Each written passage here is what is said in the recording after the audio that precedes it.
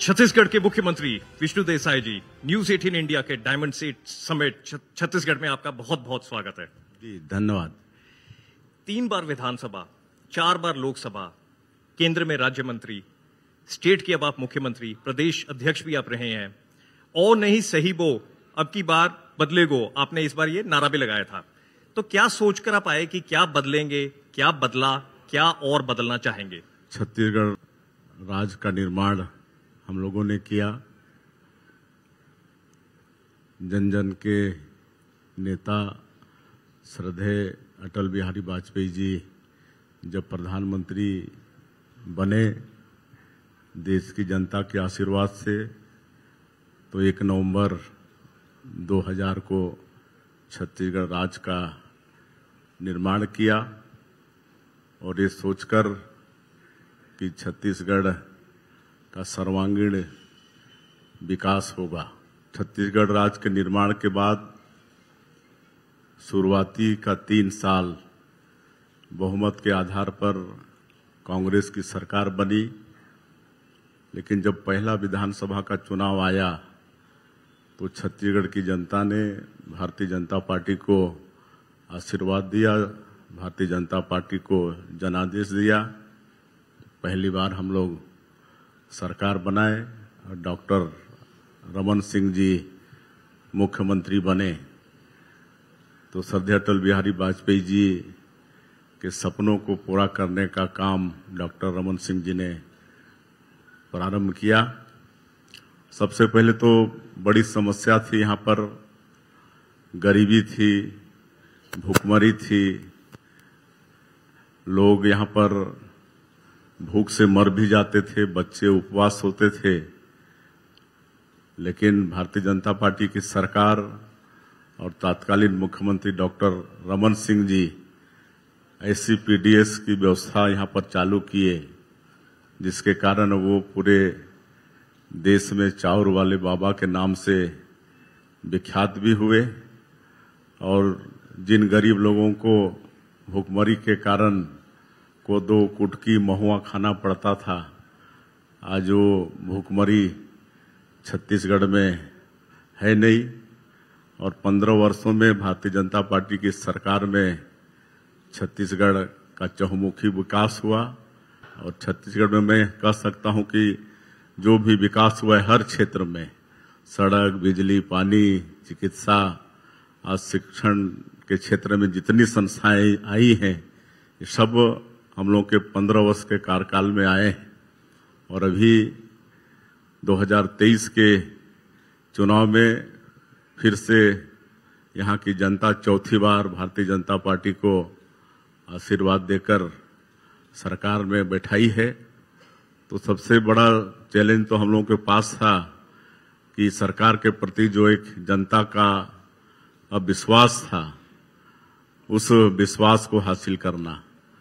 और हम समझते हैं कि इन सात महीना के कार्यकाल में वो विश्वास हम लोगों ने हासिल किया है और मोदी की गारंटी जिस पर हम लोगों को यहाँ का जनादेश मिला मिला है, सरकार में बैठे हैं, सात महीने में ही मोदी की गारंटी का बहुत सारा काम, प्रधानमंत्री आवास, हमारे किसानों का धान 21 क्विंटल प्रति एकड़ खरीदना इकतीस सौ रुपया प्रति क्विंटल धान का कीमत देना, सत्तर लाख से ज़्यादा माता बहनों को महतारी बंधन योजना में प्रति महीना एक हज़ार उनके खाते में भेजना, रामलला दर्शन योजना का शुभारंभ करना, पीएससी जैसे घोटाले को सीबीआई को सौंपना, ये सब काम मात्र छः सात महीने के कार्यकाल में हमारी सरकार ने किया है और एक सरकार के प्रति छत्तीसगढ़ की जनता का विश्वास लौटा है, विश्वास बढ़ा है। विष्णुदेव जी, आपकी बड़ी विशिष्ट उपलब्धि है। छत्तीसगढ़ के आप पहले आदिवासी मुख्यमंत्री हैं आप। आदि बहुत समय पहले से जो ओरिजिनल जो यहाँ के वासी हैं, आदिवासी, आपकी लेकिन दौड़ बड़ी लंबी रही है। पिछले पचास साल से आपकी दौड़ और कश्मकश आपकी जा रही है। आप दस साल के थे, आपके पिताजी गुजर गए, आपके दो छोटे भाई थे आपको उनकी भी देखरेख करनी थी, चौथी कक्षा में आप पढ़ते थे। उसके बाद पैंतीस साल का आपका राजनीतिक जीवन रहा, कई उतार चढ़ाव आपने देखे। और लेकिन अब जब आप आदिवासियों को देखते हैं यहाँ पर, चौंतीस परसेंट आपकी राज्य की आबादी जो है वो आदिवासी है, लगभग आप अब साठ साल के हो रहे हैं। आप कैसे देखते हैं कि क्या तरक्की आपने पिछले कई सालों में देखी? आपको लगता है कि वो धीरे हुई? और अब उसको तेज़ी से रफ्तार कैसे दे पाएँगे अब आप? आदिवासी पॉपुलेशन 32 परसेंट है। मैं भी एक आदिवासी परिवार से हूँ और 10 साल हमारी उम्र थी, तभी हमारे सर से पिताजी का साया उठ गया था। और चूँकि परिवार में मैं सबसे बड़ा भाई था, मेरे पीछे तीन और भाई थे माता जी थी तो हम तो यही सोचते थे कि हम खेती बाड़ी करेंगे, भाइयों को पढ़ाएँगे, लिखाएँगे। उनको नौकरी दिलाएँगे और माता जी का भी सेवा करेंगे और भाइयों को भी सक्षम बनाएँगे। और पढ़ाई पूरी करके हमने भारतीय जनता पार्टी ज्वाइन की और भारतीय जनता पार्टी ने जो भी दायित्व दिया उसको पूरी ईमानदारी और निष्ठा के साथ करते गया और हम कभी सोचे नहीं थे। हम तो मुख्यमंत्री की बात आप कहते हैं, हम सरपंच भी बनने की नहीं सोचे थे कि हम कभी जीवन में सरपंच भी बनेंगे। लेकिन ये जनता का आशीर्वाद और भारतीय जनता पार्टी के शीर्ष नेताओं का विश्वास कि हमने जो निष्ठापूर्वक पार्टी के लिए काम किया, उस पर विश्वास करके पार्टी हमको आगे बढ़ाते गई। हम एक पंच से अपनी राजनीतिक यात्रा शुरू की है।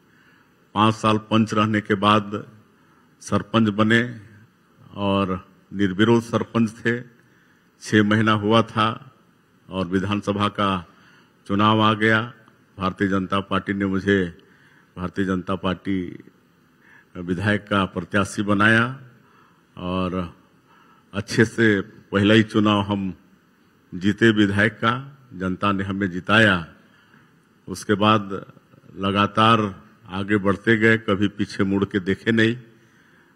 और जनता के आशीर्वाद से और हमारे शीर्ष नेताओं के विश्वास से तीन बार विधायक, चार बार सांसद, तीन बार प्रदेश अध्यक्ष का दायित्व। और मोदी जी जब 2014 से लेकर 2019 तक प्रधानमंत्री बने तो उनके शासन के प्रथम कार्यकाल में राज्य मंत्री के रूप में मुझे काम करने का अवसर मिला और जब 2023 का विधानसभा चुनाव आया तो भारतीय जनता पार्टी फिर कुनकुरी विधानसभा से हमको अपना प्रत्याशी बनाया। चुनाव जीते और आज हमारा सौभाग्य है। हमारे पार्टी के शीर्षस्थ लोगों का विश्वास है और जनता का आशीर्वाद है कि आज मुख्यमंत्री के मतलब दायित्व पर हैं। छत्तीसगढ़ की अगर इस वक्त हम अर्थव्यवस्था देखें तो लगभग पाँच लाख करोड़ के करीब है। अब आपने ये एक अपने लिए चुनौती ले ली है कि अगले चार साल में हमने इसको दस लाख करोड़ पे ले जाना है इसको, इस अर्थव्यवस्था को। अब जब आप उसको देखते हैं पाँच लाख से दस लाख करोड़ तो किस तरीके से आप देखते हैं कि कौन से वो खास आपके फोकस एरियाज़ रहेंगे जिनके ऊपर आपकी खास नज़र रहेगी, जिससे ये जल्दी जल्दी हो सकेगा? देखिए, मैंने पहले ही कहा है कि छत्तीसगढ़ एक पिछड़ा हुआ राज्य था और आज छत्तीसगढ़ को 24 साल हो गए और इसमें ज़्यादा समय तक भारतीय जनता पार्टी की सरकार रही है। तो आज छत्तीसगढ़ का जो भी विकास हुआ है, ये भारतीय जनता पार्टी की सरकार में हुआ है, जिसका ज़िक्र मैं कर चुका हूँ। यहाँ पर भूखमरी होती थी, यहाँ पर रोड नहीं होते थे, पीने की पानी की समस्या थी। लेकिन आज पिछले पंद्रह वर्षों में जो भी यहाँ विकास हुआ है, सड़क, बिजली, पानी, ये सब हमारी सरकार ने किया है और भारत सरकार में भी जब जब भारतीय जनता पार्टी सरकार में रही है सरदार अटल बिहारी वाजपेयी जी प्रधानमंत्री रहे, अभी दस वर्षों से श्री नरेंद्र मोदी जी प्रधानमंत्री हैं तो उनकी अनेक कल्याणकारी योजनाओं के माध्यम से छत्तीसगढ़ का विकास हुआ है। आज अगर घर घर में बिजली पहुँची है तो ये भी नरेंद्र मोदी जी का सौभाग्य योजना है। हर घर बिजली योजना है। आज घर घर में अगर नल के द्वारा पानी पहुँचा रहे हैं, ये भी मोदी जी का जल जीवन मिशन और शहरी क्षेत्रों में अमृत मिशन इसका योगदान है। आज अगर हमारी माता और बहनों को धुआँ से मुक्ति दिलाने के लिए प्रधानमंत्री उज्ज्वला योजना में गैस का सिलेंडर देने का काम इस देश में किसी ने किया है तो ये भी भारतीय जनता पार्टी की सरकार ने किया है। यहाँ गरीब लोगों को सबके सिर में पक्का का छत हो इसके लिए प्रधानमंत्री आवास की व्यवस्था भी हमारी सरकार ने किया है।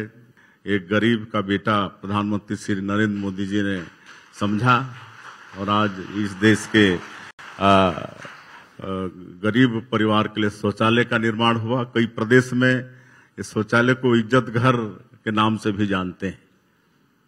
तो इस तरह से गरीबों के लिए काम किया और मुझे अच्छी तरह से याद है जब 2014 में प्रधानमंत्री के रूप में पहले दिन वो पार्लियामेंट में प्रवेश किए तो सबसे पहले तो पार्लियामेंट को झुककर उन्होंने प्रणाम किया और पहले ही अपने उद्बोधन में उन्होंने कहा था कि मेरी ये सरकार गरीबों के लिए समर्पित सरकार रहेगी और उनका पहला पाँच साल गरीबों के लिए ही समर्पित रहा।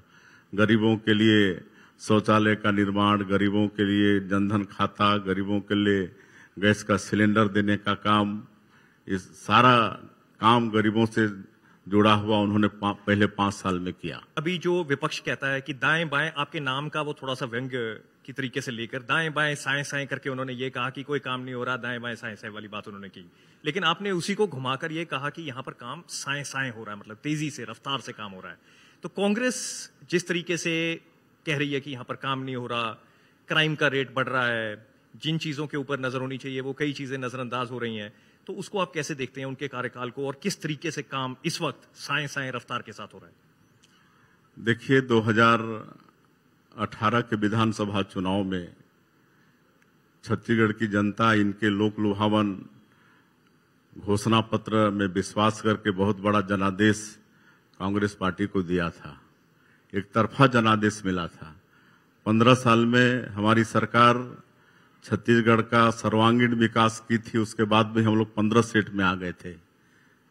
लेकिन कांग्रेस जनादेश को संभाल नहीं पाई।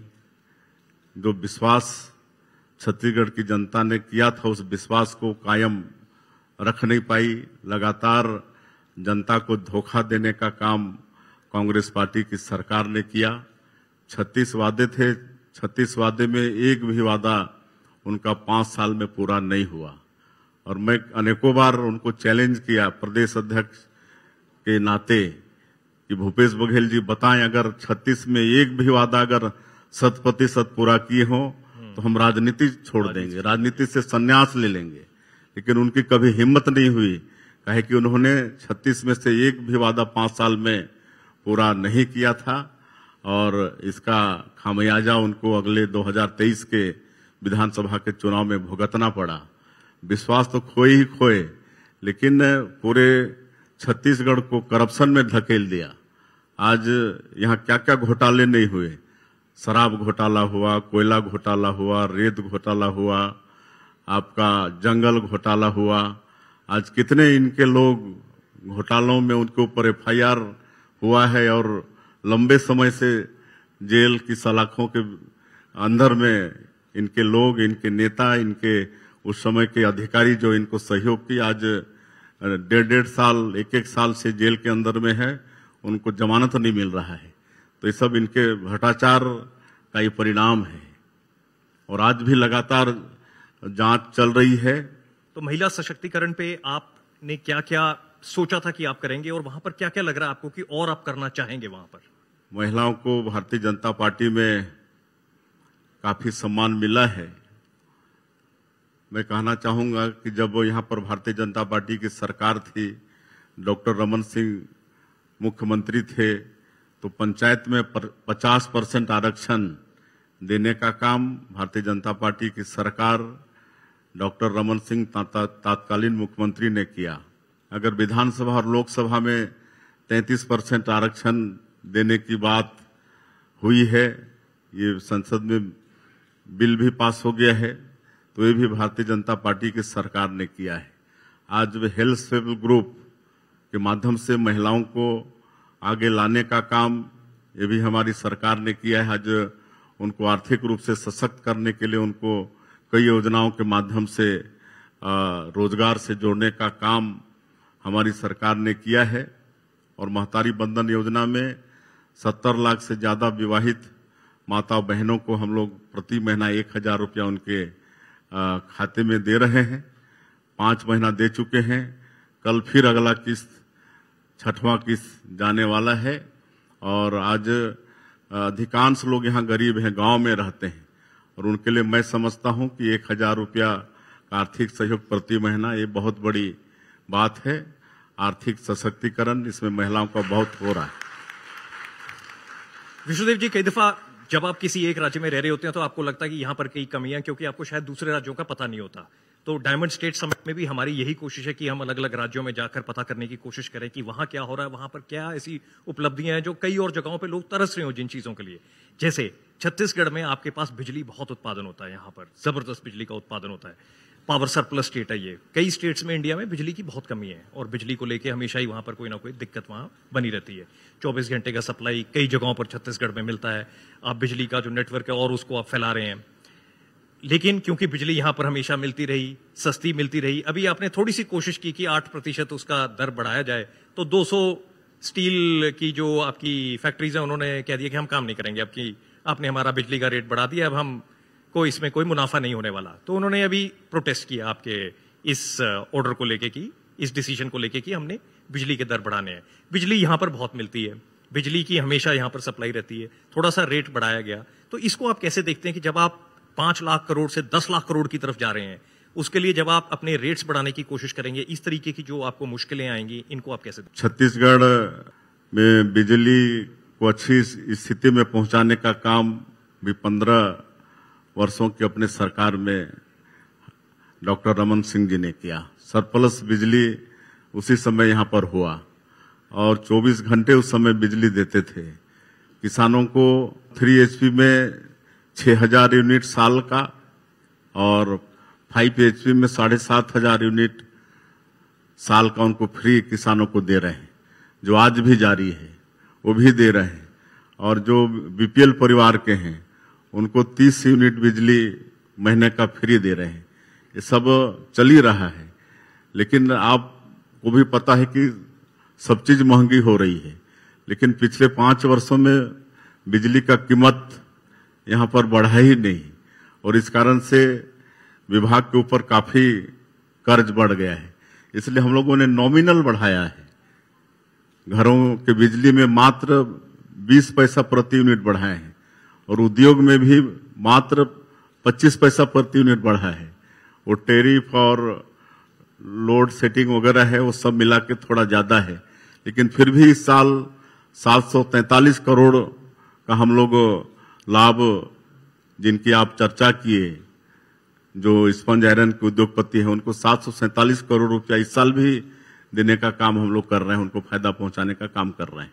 नया रायपुर छत्तीसगढ़ का एक सिंबल बनेगा कि छत्तीसगढ़ आगे बढ़ रहा है।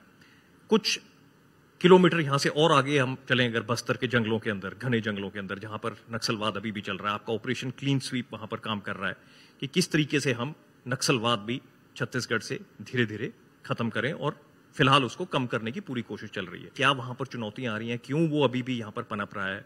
और उसको कैसे आप ऑपरेशन क्लीन स्वीप के ज़रिए खत्म करने की कोशिश कर रहे हैं? आपको हम बताना चाहेंगे कि जब हम लोगों की पंद्रह साल सरकार थी, तब भी नक्सलवाद के साथ, तात्कालीन सरकार मजबूती के साथ लड़ाई लड़ी। और जब अभी हम सात महीने से यहाँ पर सरकार में हैं तो हम लोगों की लड़ाई और मज़बूत हुई है।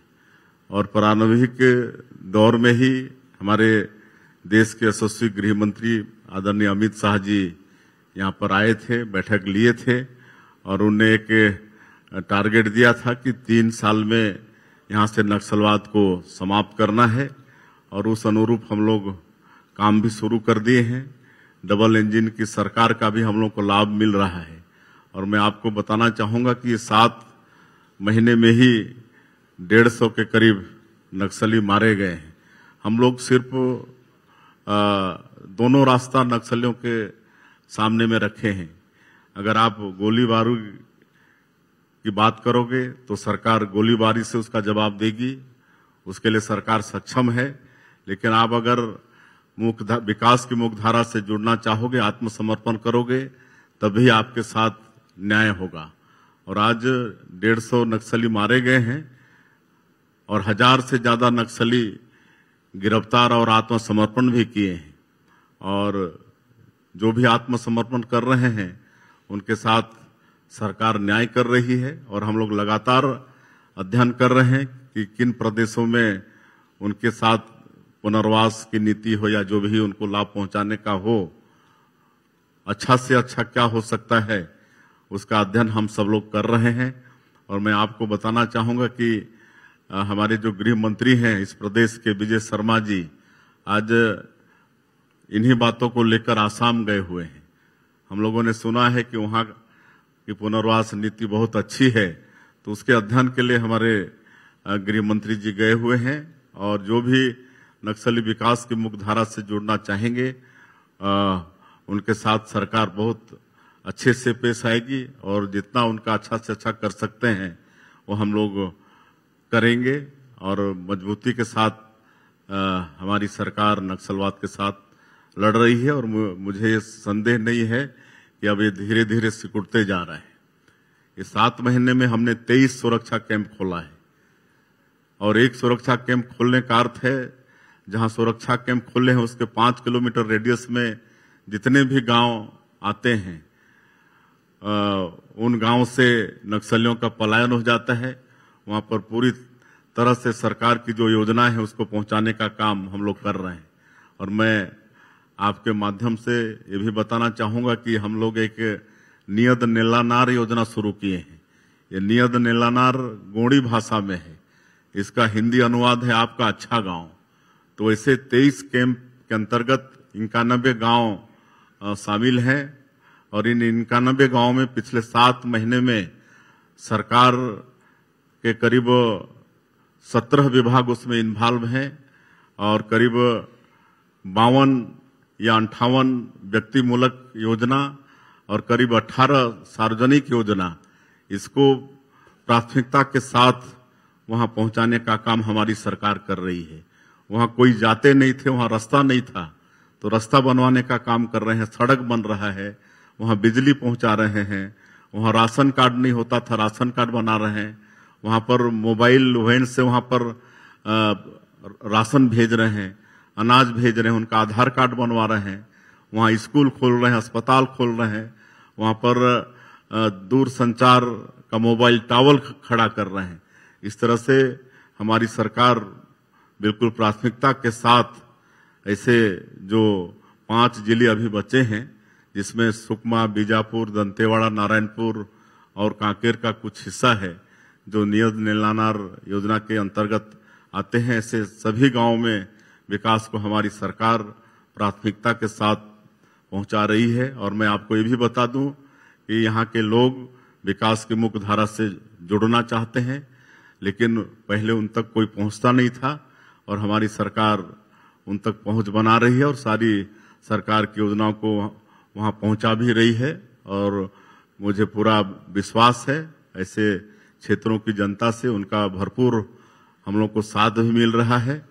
और अब नक्सली को उखाड़ फेंकने में उनका भी आशीर्वाद हम लोग को मिलने वाला है। अभी आप बता रहे थे, बोली का जवाब बोली से और गोली का जवाब गोली से। नियाद नेलनार, आपने स्कीम भी यहाँ पर लॉन्च करी आपने लेकिन जब आप नक्सलवाद को देखते हैं, जब कोई हथियार उठाता है एक बार, चाहे वो लाइट मशीन गन हो, चाहे वो दोनाली बंदूक हो तो उससे एक ताकत महसूस होती है।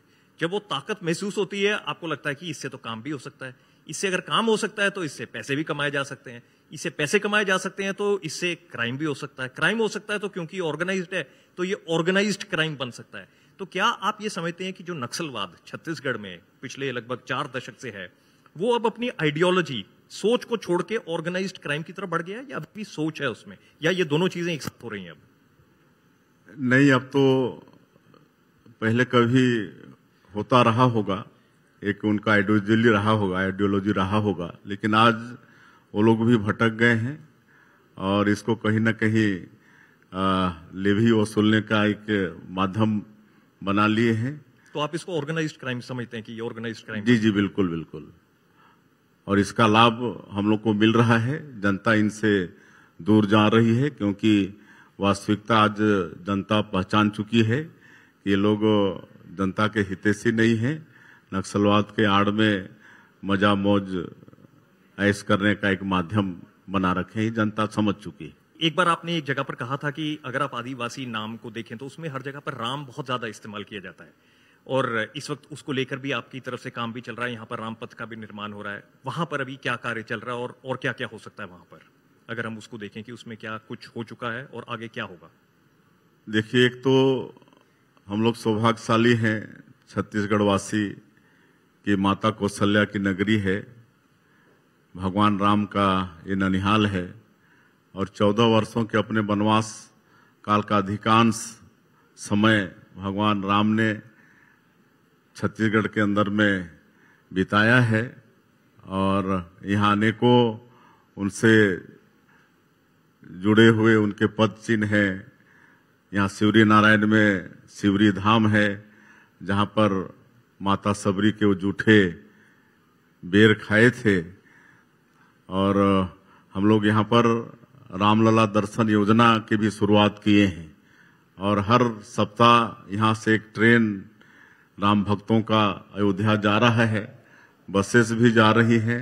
सरगुजा जैसे क्षेत्र में जहाँ पर अयोध्या से दूरी कम है, वहाँ से बसों के माध्यम से भी राम भक्तों को हम लोग सरकारी खर्चे पर भगवान राम का दर्शन करा रहे हैं। और एक जो यहाँ पर पाँच शक्तिपीठ हैं। वो पाँचों शक्तिपीठ को शक्तिपीठ सर्किट बनाने का काम यहाँ पर करने वाले हैं। उसमें आपके डोंगरगढ़ है, कुदरगढ़ है, दंतेवाड़ा है, आपका चंद्रपुर है और कुदरगढ़ है। तो ये पाँचों जो शक्तिपीठ है, इनको जोड़ने का काम करने वाले हैं और जो राम वनगमन पथ है, उसका भी विकास करने वाले हैं। तो इस तरह से हम लोग कोई कोर कसर नहीं छोड़ेंगे। क्योंकि ये छत्तीसगढ़ भगवान राम का ननिहाल है। एक बार जाते जाते आपसे ये ज़रूर पूछना चाहेंगे कि जो दो हज़ार सैंतालीस का जो आपका एक विजन है छत्तीसगढ़ के लिए और उस विजन को जब आप देखते हैं आगे तो आप उस विजन के नज़रिए से हमें क्या दिखा सकते हैं कि हम आने वाला क्या छत्तीसगढ़ देखेंगे? देखिए हम लोग का सौभाग्य है कि श्री नरेंद्र मोदी जी इस देश के प्रधानमंत्री हैं जो 140 करोड़ भारतवासियों को अपना परिवार मानते हैं और रात दिन उनके लिए वो जीते हैं और पिछले दस वर्षों में हमारा ये जो देश आर्थिक क्षेत्र में ग्यारहवें स्थान पर खड़ा था, उसको अपने अथक परिश्रम और दूरदृष्टि के कारण पाँचवें स्थान पर लाके खड़ा कर दिया है। और आने वाले पाँच वर्षों में जब वो तीसरी बार प्रधानमंत्री बने हैं तो पूरे विश्व का तीसरा सबसे बड़ी आर्थिक ताकत बनाने का उनका संकल्प है। और दो तक इस देश को विकसित भारत के रूप में खड़ा करने का उनका संकल्प है। तो हम लोग छत्तीसगढ़ वासी भी संकल्पित हैं उनको योगदान देने के लिए। और आने वाले पाँच वर्षों में जो आज हमारे प्रदेश का जीएसडीपी पाँच लाख करोड़ का है, उसको आने वाले पाँच वर्षों में जस्ट इसका डबल दस लाख करोड़ करने वाले हैं। और एक विकसित छत्तीसगढ़ का एक विजन डॉक्यूमेंट हम लोग बना रहे हैं। और लगातार इस पर काम जारी है लगातार बैठकें हो रही हैं। किसानों के साथ युवाओं के साथ व्यापारियों के साथ आ, हमारे और भी जितने भी बुद्धिजीवी वर्ग हैं महिलाओं के साथ सबके साथ बैठक लगातार कर रहे हैं और उनका आ, हम लोग सलाह मशूरा कर रहे हैं उनके विचार जान रहे हैं और एक विकसित छत्तीसगढ़ का विजन डॉक्यूमेंट तैयार होगा और एक नवंबर जब हमारे प्रदेश का स्थापना दिवस होगा उस दिन हम लोग इस विजन डॉक्यूमेंट को इस प्रदेश की जनता को समर्पित करेंगे। Vishnudeo Sai ji diamond state summit में हमारे साथ जुड़ने के लिए बहुत बहुत धन्यवाद। न्यूज़ एटीन इंडिया पे आपसे जल्द फिर मुलाकात करेंगे। न्यूज़ एटीन परिवार को हमारे तरफ़ से भी बहुत धन्यवाद ये डायमंड स्टेट समिट करने के लिए जिसके माध्यम से आज आप सब लोगों के समक्ष हमें उपस्थित होने का अवसर मिला। बहुत बहुत धन्यवाद। बहुत बहुत धन्यवाद।